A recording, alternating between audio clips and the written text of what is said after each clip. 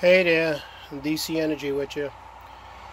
Hey, I just, you know, I just thought about it. I was doing, had some time, and I was looking at some of the comments, and um, I was talking with one of the uh, subscribers, and he had a problem, same problem I had with the uh, that GTK battery from China, and um, yeah, he went through the same thing. So I was wanting to give an update on it. I actually took I have two 400 amp ones. I took them apart. This is one of them. And this is a part, I, I, you know, because I spent a lot of money, I didn't want to let it go to waste. So I compressed the batteries. A couple of the cells did swell.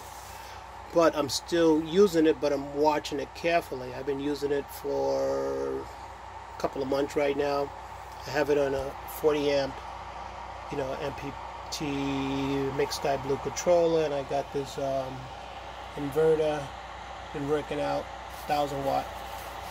Um, you know, and what I'm doing is because that time when that happened, I broke up the system, and I'm on a process of redoing it again, and I'm gonna make it better. Right now, the weather's been so hot that I just kind of panicked, so I just split the system up into four different categories.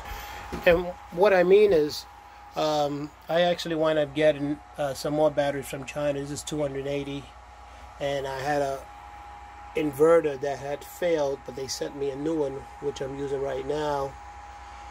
And also with another Make Sky Blue um, 60 amp. So that's one setup and that's used for half of a, you know half of my system then I have another setup which is with big battery because uh, when that happened I I went and got a big battery, which has been running excellent. So um, that's my main stuff right here. And then I wind up getting a pure sine wave inverter, 6,000 watts from China. And that's been working so far very good. Um, with also a separate Make Sky Blue uh, MPPT controller. And then I have one more setup. This this uh this is not an MPPT, this is the other one. And I use that with the other 400 amp system that I had that messed up that the battery swelled. But instead of having them go to waste, um, I use them at a lower capacity level and I watch them carefully. And um, and I use it just to run the refrigerator something small, nothing big, and I don't charge it up to full capacity uh, just to play it safe because the balances had failed.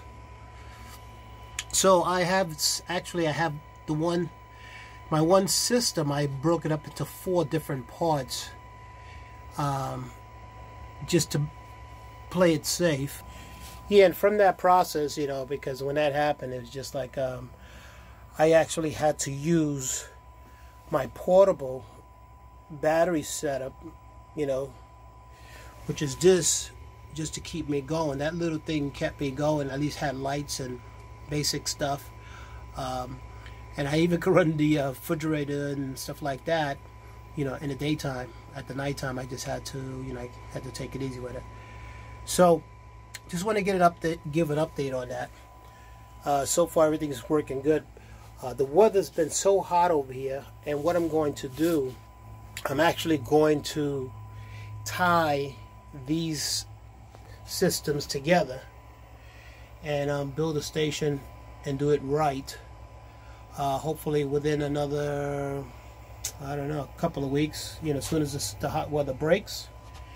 And hopefully I'll put a video out about that and then, um, you know, give you an idea as far as how I got it going. And you know what? Maybe I'll show you my solar setup. Hold on. Yeah, and on my solar setup, on the floor, I have, um, I got three 200 watt panels from Rich Solar.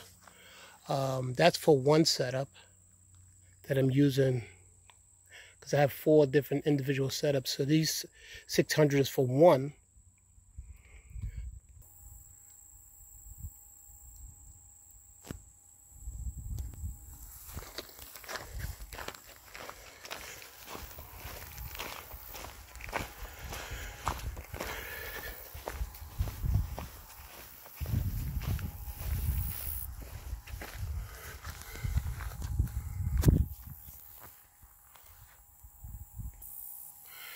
And then on top of the roof, I have it broke up into two setups. Uh, 150 watt um, panels, Fortum, uh, producing 600. And then I have another setup of two on the uh, front, which is a 220. That's on another battery bank. And I have another two on the other side.